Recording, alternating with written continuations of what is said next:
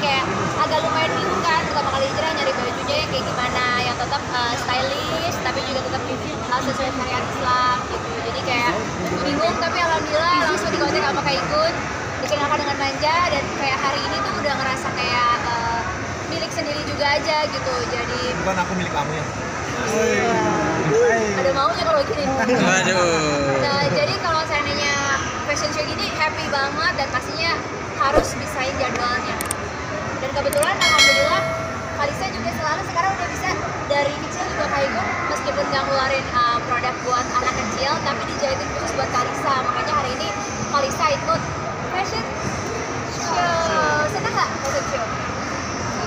Oh, masa kedengeran kok? Tadi gayanya gimana pas di depan fashion show? Ye. jadi gimana Tek? Eh, kali pertama Oh, gimana? Itu ada gimana tuh Kalisa, udah sering, dia udah sering banget uh, fashion show. Bahkan dia nagih gitu kan, aku setiap kali ada uh, program TV, fashion show atau apa pun itu Pasti aku tanya sama abahnya dulu.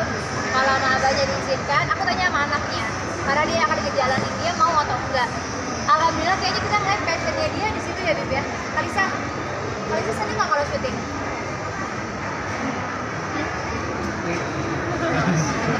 Kalau fashion show seneng nggak? Ya Allah, lagi puasa uktinya jadi Jadi dia emang enjoy banget, pastinya aku mau Tapi kayak kemarin ada tawaran sinetron ya aku nggak ambil Karena kan eh, dia masih 3 tahun, terus juga kayak eh, takut capek banget kan Lebih, karena lebih mintanya 10 jam Iya, jadi aku juga nggak mau ngambil haknya dia untuk belajar dan bermain. Jadi kalau kayak gini kan dia happy, dia senang, ya udah, lama juga. Cara nge-treatnya gimana sih nyoput? Cara nge-treatnya gimana sih untuk Alisa Pinter? melihat Gimana?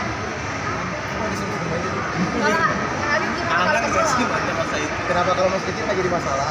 Mudah-mudahan siar banyak anak kecil yang pakai jilbab dan terbiasa pakai jilbab. Jadi ketika berdakwah di mana tempatnya, tetap ingat satu hal, dari kecil biasakan jilbab, nanti udah dewasa insya Allah berjilbab.